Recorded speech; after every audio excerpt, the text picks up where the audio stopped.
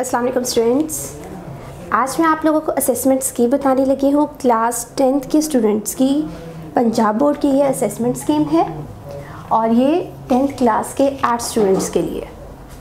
सबसे पहले आप लोग अपने एम देख लें कि आपको कितने चैप्टर कौन से चैप्टर्स में से कितने एम पूछे जा सकते हैं। आपको सामने स्क्रीन पर शो हो रहा है।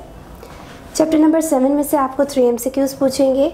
चैप्टर एट में से भी थ्री एम चैप्टर नाइन में से भी आपको फोर एम पूछे जाएँगे। इसी तरह चैप्टर जो टेन है, इसमें से भी आपको फोर एम पूछेंगे। और लास्ट चैप्टर आपका जो चैप्टर इलेवन है, वहाँ से आपको जस्ट वन एमसीक्यू आएगा। नेक्स्ट पोर्शन आपका सब्जेक्टिव पोर्शन होता है, उसमें शॉर्ट क्वेश्चंस और लॉन्ग क्वेश्चंस होते हैं।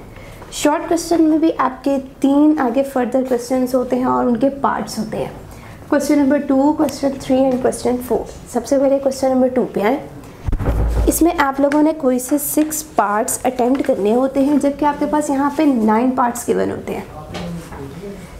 सिक्स जो शॉर्ट क्वेश्चन हैं आपके, वो चैप्टर नंबर सेवन में से आएँगे। बाकी जो आप लोगों के थ्री शॉर्ट क्वेश्चन रह गए हैं क्वेश्चन नंबर टू के, वो आपको चैप्टर नंबर एट के फ़र्स्ट हाफ़ में से पूछे जाएँगे। फ़र्स्ट हाफ़ यहाँ पे क्या है? जो चैप्टर नंबर एट है, उसे आपने डिवाइड करना है पोर्शन दो इक्वल पोर्शंस में। फिर उसका जो फ़र्स्ट वाला पोर्शन होगा हाफ़ का, उसमें से आपको वो ये वाले तीन क्वेश्चन पूछे जाएँगे।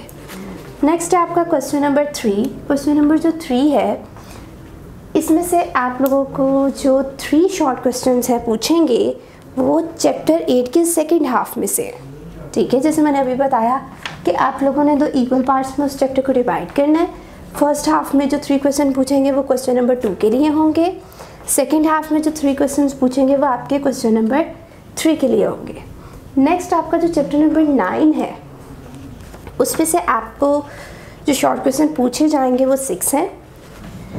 Next question question number four question number four में आपके पास जो चैप्टर नंबर टेन है, उसमें से टोटल आपको सिक्स क्वेश्चन पूछेंगे। और चैप्टर नंबर इलेवन में से टोटल जो शॉर्ट क्वेश्चन है वो थ्री पूछे जाएँगे। इस तरह हम लोग का शॉर्ट पोर्शन कंप्लीट हो गया। नेक्स्ट आ जाए अपने लॉन्ग पोर्शन की तरफ़। लॉन्ग पोर्शन में आप लोगों का जो क्वेश्चन नंबर फाइव का ए पार्ट है और बी पार्ट है। ये दोनों पार्ट आप लोगों को चैप्टर नंबर सेवन में से आएँगे। जो क्वेश्चन नंबर सिक्स है, उसका ए और बी पार्ट ये भी आपको दोनों चैप्टर एट से आप पूछे जाएँगे। नेक्स्ट क्वेश्चन है क्वेश्चन नंबर सेवन का ए और बी पार्ट ये आपको चैप्टर नंबर नाइन में से दोनों पार्ट्स आएँगे।